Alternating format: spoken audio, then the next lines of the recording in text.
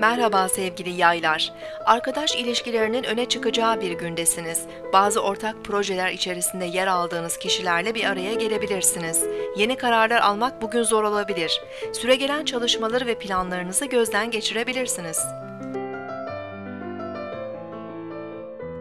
Bugün 9 Haziran 2014 Pazartesi. Ay günündeyiz. Terazi burcunda ilerleyen ay sabah saatlerinde boşlukta olacak. Kararsızlık ve belirsizlik günlük işlerimizi etkileyebilir.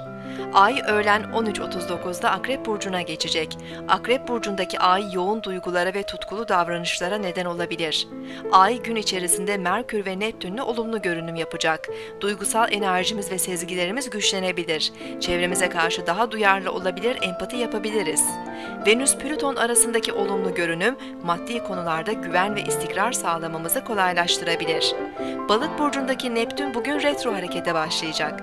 Neptün 16 Kasım'a kadar retro olacak.